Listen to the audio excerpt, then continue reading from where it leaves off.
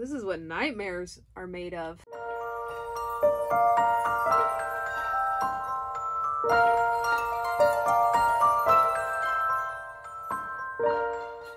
Hello Sailor Moon World and welcome back to my channel. I'm Ochi, big Sailor Moon toy collector. I am happy you are joining me for another video. Today I am opening up kind of an older item. These are the Premium Bandai HGIF figures from 2014. Now I did buy these back in 2014. I actually bought two sets but I never freaking opened them. I didn't open them at the time because my toy room was not up and running, so they kind of just got chucked into storage. But now that I'm finally getting my collection room all in order, as you have seen, I am ready to open these puppies up and get them on my shelves.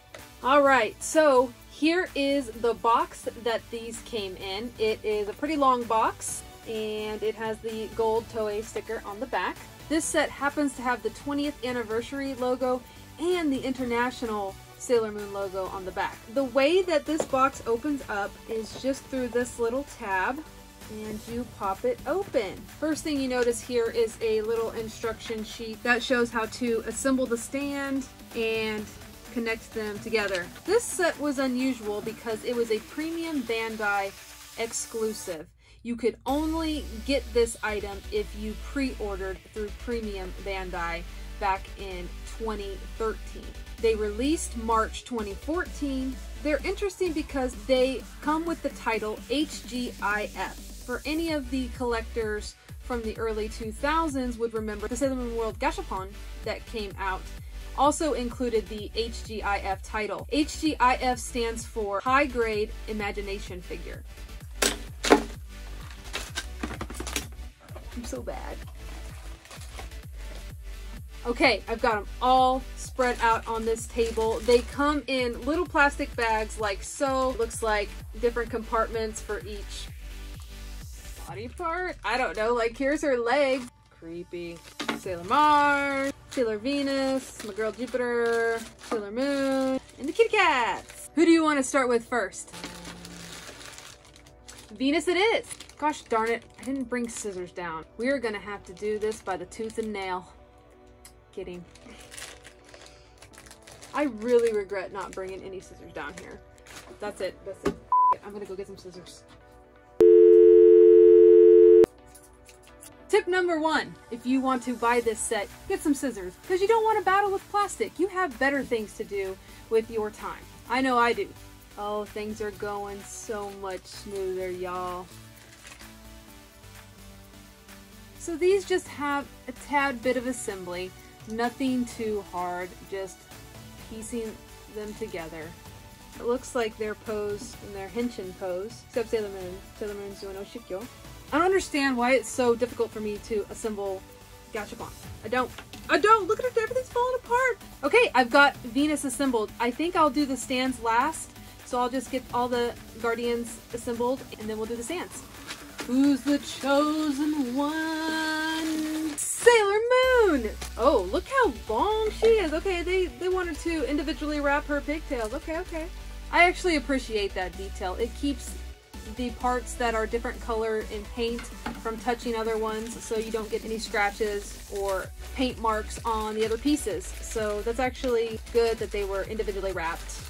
Something that I've always liked about these figures from what I've seen in the photos is their dramatic poses. They are the description of dramatic. But I kind of like it. Uh, some people didn't, but I like it. I have the worst luck with putting together Gashapon. I don't know why. Is anybody else like that out there? Am I the only one? Why can't I put this pigtail in her head? Like, why?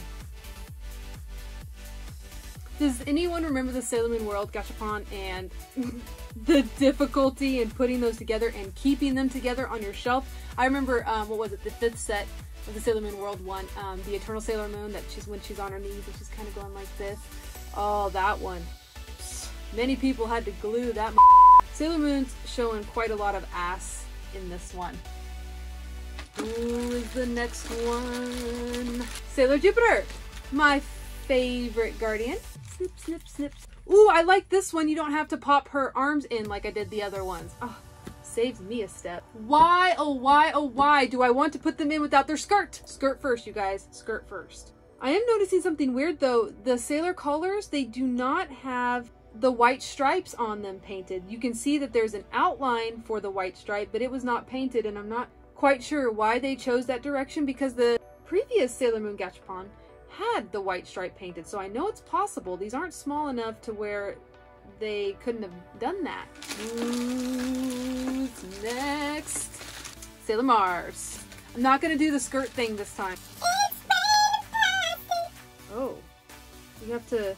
So, she has a piece of hair right here that's kind of preventing uh, you from putting on the skirt. So you do have to move it out of the way just a little bit. And be careful because I do think these could break a little bit and you don't want to ruin these because these are expensive now.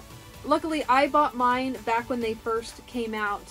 Um, they were about $50 retail, but now the price has definitely gone up since they're a little bit more harder to find since they were released in 2014. I mean, you're expected to pay at least a 100 or so for them. I haven't really looked at the going prices, but I know that they're definitely at least double. I'm not gonna lie, I feel a little silly opening a set that's this old. I mean, some of you guys out there are probably like, what the heck, where do you get, where can you get these? I, didn't, I don't even know about these, you know, because they're, they're, they're so old, and there's been so many collectors that have popped up from the 20th and 25th anniversary, which is awesome. I welcome you all, but I do feel a tad silly opening up these older products that it would be harder for you guys to buy at a good price but you never know. You can still find deals out there. Shoot, I could tell you many a times with some deals that I've got on some older Sailor Moon toys. You just gotta keep your eyes peeled and check around. You never know what you can find. Okay, and Mars. Feisty. Alright, the last one looks like Sailor Mercury. Use your strength. Mercury was the easiest one to put together. What a blessing.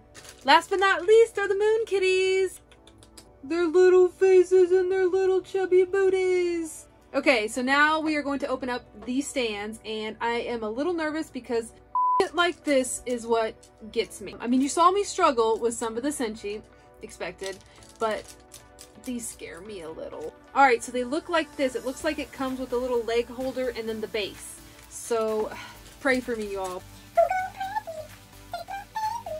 I hate little freaking pieces.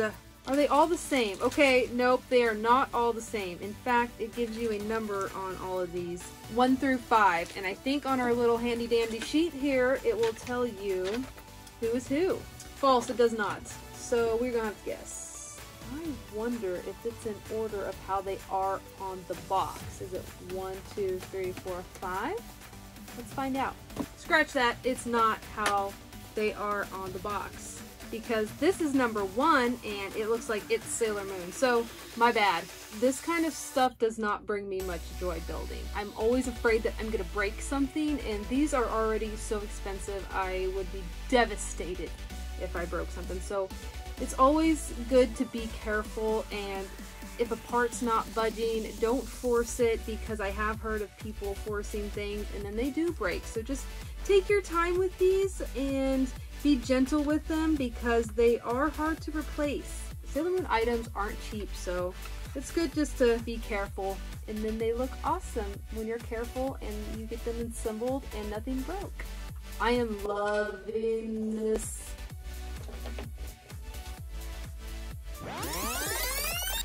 Loving this set so far. Look how cute they are. Little pieces scare me. Oh, okay. So the numbers are based on when they appear in the show. Does anybody out there have this set? I want to know what you guys think because this is my first time ever seeing them in person.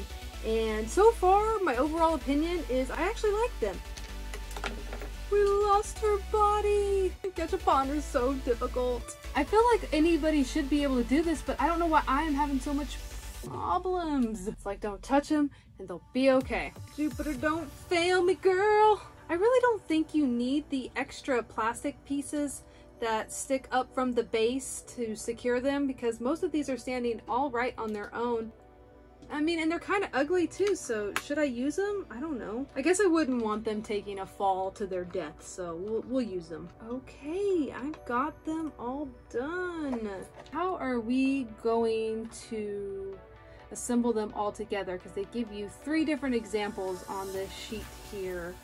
I'm trying to figure out which one do I like best. We just use these little tiny pieces to interconnect all of them together. Watch out because of their- gosh darn it, her hair. I'm getting Eternal Sailor Moon vibes all over again. I'm seeing the issue here. It seems like the, the, pieces where they interconnect here aren't exactly molded to the right shape, so they're not sticking in very good. So maybe it isn't me. It's it's a manufacturing error here. That makes me feel better. For the love of God! I'm getting frustrated as heck to get down for this? I am getting sick of this Sailor Moon. I am about to throw a fit. I'm sorry. I'm sorry y'all had to witness that. I really don't want to touch her anymore. Something don't look right. Okay, it's kind of good to just place them where you want them before you interconnect them. That way you can figure out if that's the way you like them displayed or not. Because there are a couple of different ways that they interconnect. This pigtail! Okay, we got it on.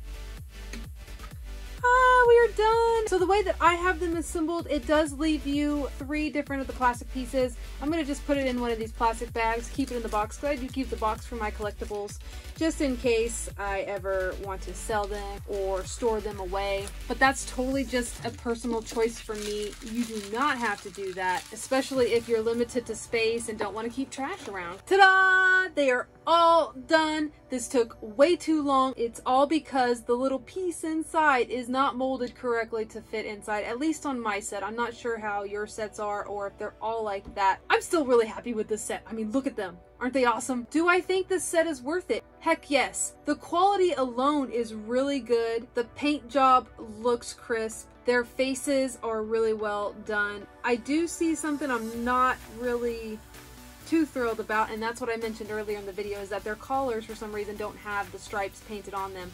And I'm not sure why, because the previous Gashapon, in the same quality, even smaller scale actually, had those stripes painted, so I don't know why they chose to omit the stripes on the collars but it's kind of a detail that's to bug me. But it's not a make it or break it. I think the set is really freaking awesome. Are you to be able to find it for less than a hundred? Uh, I don't know because this is an older set. Any place that you can find secondhand Sailor Moon goods is where you'll be able to find these now since they are out of print.